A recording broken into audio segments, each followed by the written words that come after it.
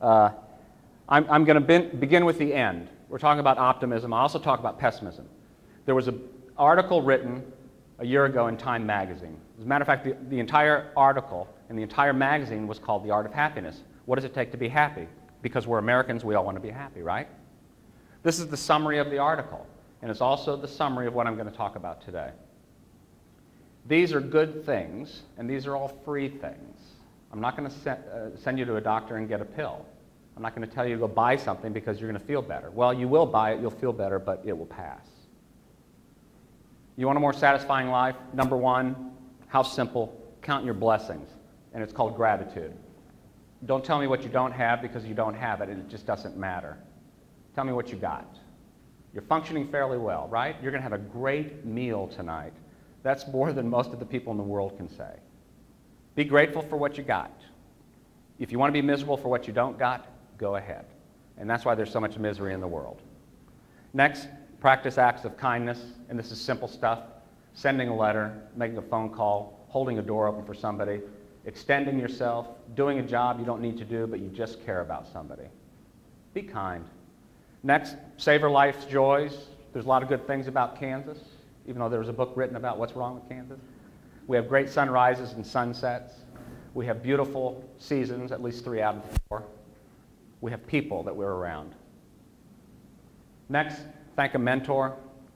Somebody's got you here somehow. You can thank them. They don't have to be alive, you can still thank them. There's not enough appreciation in the world. Next, learn to forgive. This will save you a lot of money in therapy. and it's pretty simple, too. Uh, the people that are not able to forgive are the ones that are tearing themselves up inside. They're holding the anger and the resentment, and for what? Do you think it's hurting the other person? It's not, it's hurting you. Why don't you forgive and let go? We've all got reasons, right? I mean, we had parents. Those are the first people you can blame. And then you can blame your first wife, second wife, first husband, second husband. Blame your kids, blame the environment, blame the economy. Or let it go. Top right, life is just made out of time and energy, and invest it with people you care about. Next, take care of your body, or if you don't, there's a lot of hospitals in this state that'll take care of your body. And finally, develop strategies for coping with not the good times, but with the tough times, stress and hardships. this is what the world is made out of. When you grow up, the age of two, you go through this thing called terrible twos. And the psychology behind the terrible twos is you think that you're the center of the world. You're the most important person in the world. And then you grow up, hopefully, some people never do.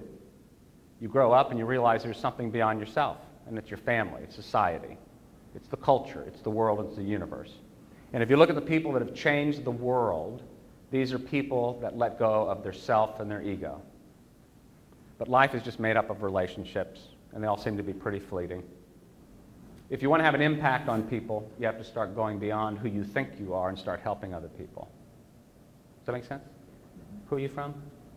Mortuary arts. Mortuary arts. Oh, oh, you're one of those officials, aren't you? Oh, are you, are you a state worker? Yep. Yes. Are you too, Bob? Yep. Okay, great. Sorry about that. I didn't make any state worker jokes yet, did I? Okay. Okay, I won't. Are you also with the state? I'm his wife. I'm retired from the state. Oh, you retired from the state. Okay, no state jokes. There's three reasons. There's three reasons why people experience more pressure and stress in their lives, and specifically with funeral directors, dentists, and psychiatrists, even more than the rest of the professions. One is the people that you have to deal with. And if you look at the quality of personality that comes in to see you, come in to see a dentist, come in to see a psychiatrist, you know you're dealing with people that you, it's not like going to Dillard's and buying a shirt and they're happy when they leave. Next, there's more information out there that you have to be aware of. And the third is the technology is getting out of control. But somehow we're supposed to be aware of all the changes that are going on which create so much pressure in our lives. There we go. Uh, well, here you are. This is why. Um, there was a paper written in the late 70s, and it wasn't a paper written to recruit dentists. It was actually a paper that talked about why dentists experience so much stress and anxiety, and later in life develop so many mental illnesses. So, two things. One is the next time you see your dentist, give him or her a hug because they're having a tough time. But also, you all are very similar to them and with psychiatrists. Four reasons. Number one, the people that come to you come to you with a heightened level of fear and anxiety. And in positive psychology, they say that everyone needs to have a ratio of good events to bad events. And if your ratio of bad events to good events is overwhelming, then you start experiencing not only physical but psychological distress and disorder. But for the most part, it's my understanding that people are not coming to you because they really want to. They come to you because they have to. There's also another factor, but it's involved in all these, but it's not brought up, and that is money, and money becomes a big issue. But the main thing is psychologically, if you don't find ways to cope and you introject all this fear and anxiety, you're going to have some serious problems. Not enough positive experiences. Reason number two uh, separate from this group, you have limited and competitive social support networks in the world, especially when we're talking about large cities and several different funeral directors and several different companies that are running this. In smaller towns, it's not as competitive and it's not as limited in your social support. But as funeral directors and directresses, how do you say the female version of that? Are you a directress? Yeah.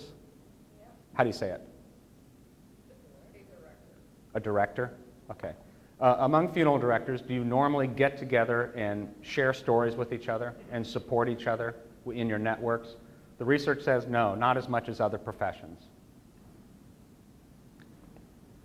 Three, and I was just informed of something in Hays the other day. Uh, you all have easy access to drugs. And in Hays, matter of fact, in Dodge City, they said everybody has easy access to drugs, not just funeral directors. And the fourth reason is you, you, come, you come to what I call a deeper understanding that some of the conditions that you're dealing with cannot be changed or healed. It's the finality of life. And it's not really the person that's gone, but the people that are left behind. But you're dealing, much like dentists, dentists realize even though they're artists and they can sculpt the teeth and make them, eventually the teeth are going to continue to decay. In psychiatrists, even, there's no such thing as cure. The best you can do is try to manage, manage someone's mental illness.